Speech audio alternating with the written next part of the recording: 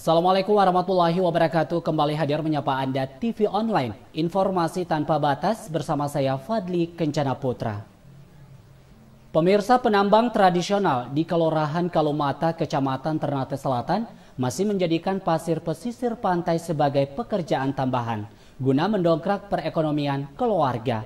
Pengumpul pasir beraktivitas sudah 13 tahun sejak 2004. Berikut liputan selengkapnya.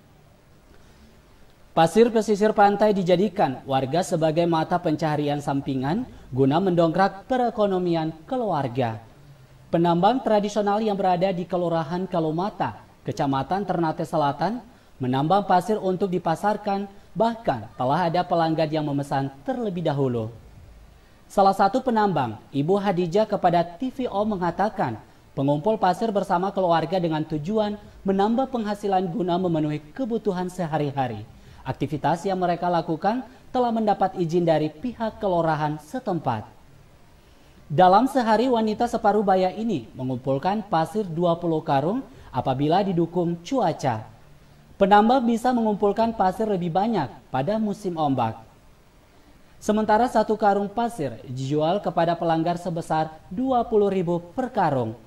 Pekerjaan penambang pasir dilakukan Ibu Hadijah di Gelutinya sejak tahun 2004. Selama ini. Sekitar berapa tahun? Dari tahun berapa? Kali tahun 2004 lah. 2004? Iya. Oh, kira-kira penghasilannya berapa untuk perjual per karung? Satu karung, kalau per karung 20. Ya, se- eh, apa ini?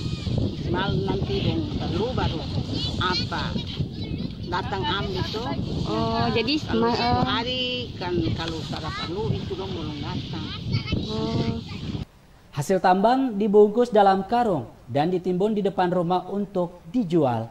Dari Ternate, Maluku Utara, Irianti Chandra, TVO melaporkan.